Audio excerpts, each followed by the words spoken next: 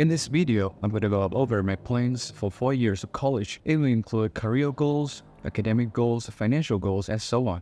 Stay tuned.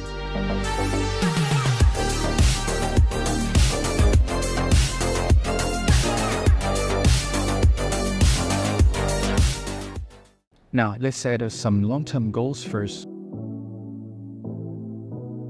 I've always been fascinated by English, and getting to use it every day seems like a really good deal to me. And I also have no issues presenting it to others, so becoming an English teacher seems really natural for me, and I would consider that to be a more traditional pathway. Now, something unprofessional is to work in the embassy, preferably in the embassy of the US or in UK. Again, the idea of using English every single day sounds really nice, but getting it to the embassy is a little bit trickier than getting a job as a teacher, so I'll go into that later. Now that are my long-term goals, let's break them down into digestible pieces.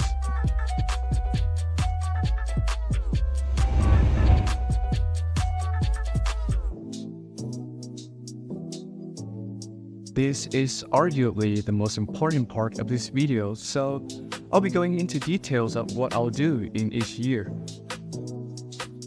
As a freshman, I don't want to set myself ridiculous goals like emerging as valedictorian, but Getting an excellent degree is crucial in terms of hunting for scholarship in masters, so I'll be trying to get a 3.6 plus GPA overall. And in order to make sure that I get a good GPA, I'm not gonna participate in any volunteering activities just yet. Although I do plan to join USTV where I can practice my photography and videography skills. I'll also continue tutoring students English but it probably won't be my main focus for the year. Now this is when I'll probably be a little bit more accustomed to mountains upon mountains of deadlines that ULIS is so infamous for. My goal for GPA remains the same, 3.6 plus. Secondly, assuming that I successfully apply for USTV, I'll try to get into a leadership position. Most importantly though, I'll be looking into volunteering jobs, preferably those that require some English knowledge. If it requires me to teach, that'll be all the better. And also, I'll be trying hard the whole year to improve my IELTS scores. I should probably get an 8.5 in order to secure some sort of internship job that I'll be talking about in the third year. This is where things get a little bit more interesting. As far as I can tell, third year students are supposed to buy some of internship and this is when my 8.5 IELTS is going to be incredibly helpful. In order to do internship, I'll probably have to cut down on my volunteering activity, but I'll try to manage at least one at a time. My second language of choice is Japanese. With only about two years left until graduation, I'll probably try to pick up some more Japanese in order to actually graduate. After spending two years supposedly in USTV. I plan to join ETDC next. Here we are in the last year of college. I haven't had much thought about this yet. Just as all, I'm going to be spending most of my time working on my bachelor's thesis. Assuming that I've managed to find an internship job at an English teaching center, I'll probably continue working there for another year.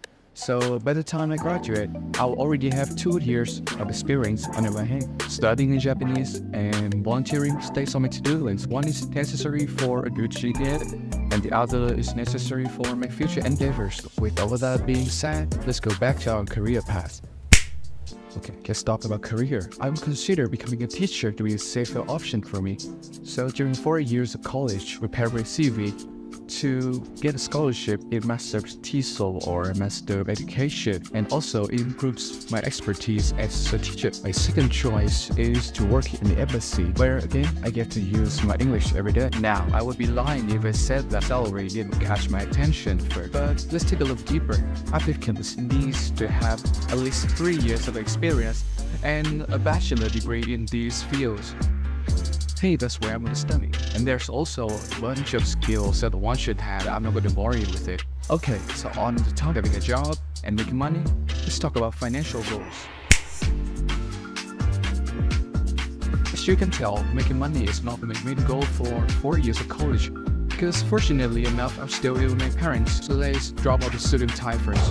Currently, my main source of income is cheerleading student. I'm teaching three students English. Right now, I'm making 1 million VND per month, but that number will probably go down a little bit during the school year because I want to focus more on my academic goals. Since I don't have to pay bills and food, I'll try to save at least 300 month. Moving on from financial goals, I'm going to talk about how I'm going to maintain my physical health and also my mental health.